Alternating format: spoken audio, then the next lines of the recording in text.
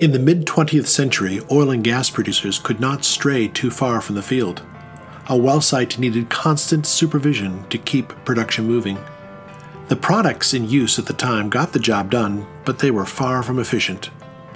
Of particular concern was the back pressure regulator. Back pressure regulation was primarily achieved through weight-loaded or spring-loaded pressure regulators. And the problem with those regulators was that as the flow rate changed, the set point changed. This didn't work very well and the vessel manufacturers needed a consistent pressure set point for the production vessel to operate properly. In 1948, a little startup in Oklahoma City introduced a new pilot operated back pressure regulator that would soon revolutionize the industry. This valve would evolve into the AAA.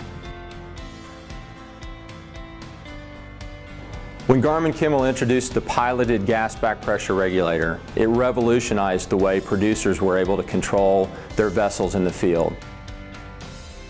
Garman had come from the industry and he understood the needs and the necessities of pressure regulation and he had an idea for a piloted control that isolated the operation of the valve from the sensing point of the pressure upstream or downstream. Operators were now able to accurately control their pressure across a wide range of flows. This fundamentally changed the oil and gas industry. For the last 70 years, the AAA has been the industry standard for pressure regulation. It's that type of innovation that's the DNA of Kimray. That's the legacy that Garman Kimmell left us.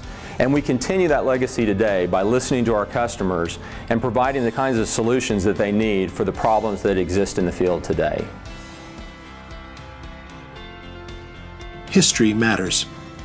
For over 65 years, Kimray has been creating simple, effective solutions for oil and gas producers worldwide. And we aren't through innovating yet.